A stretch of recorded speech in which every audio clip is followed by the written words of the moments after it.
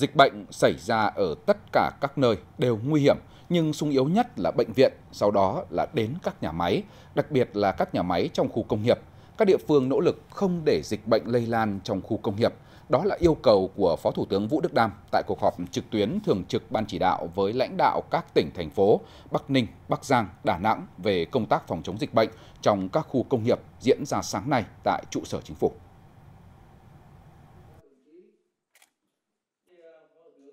Báo cáo của Chủ tịch Ủy ban Nhân dân thành phố Đà Nẵng Lê Trung Trình, đến nay cơ bản tại Đà Nẵng, dịch bệnh đã được kiểm soát tình hình. Liên quan đến 32 ca dương tính tại khu công nghiệp mà Đà Nẵng lấy mẫu đêm qua, Đà Nẵng đã tiến hành nhiều giải pháp phù hợp, dồn nguồn lực, vật lực để truy vết và có quyết định giãn cách phù hợp trên địa bàn. Kết quả xét nghiệm các đối tượng truy vết sẽ có trong ngày hôm nay. Đối với các ca mắc COVID-19 trong các khu công nghiệp, Chủ tịch Ủy ban Nhân dân tỉnh Bắc Ninh khẳng định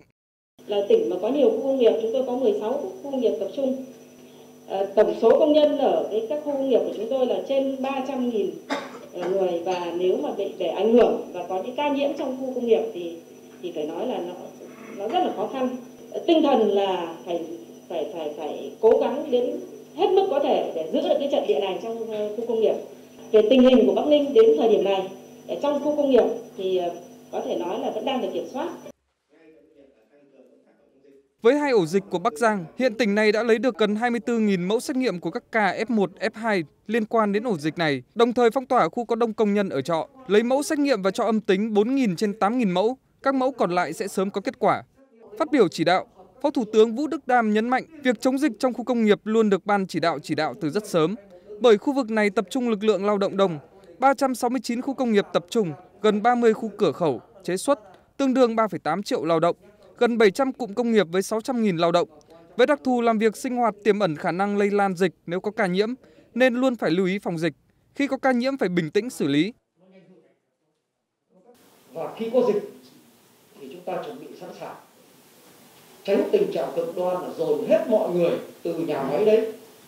vào cái khu cách ly tập trung mà chưa được chuẩn bị kỹ để lây nhiễm chéo. Thứ hai cũng tránh tình trạng cực đoan là cứ hơi cảm thấy đe dọa có dịch là tạm ngưng sản xuất thả doanh nghiệp về địa phương mình thả thả thả các công nhân về địa phương rất nguy hiểm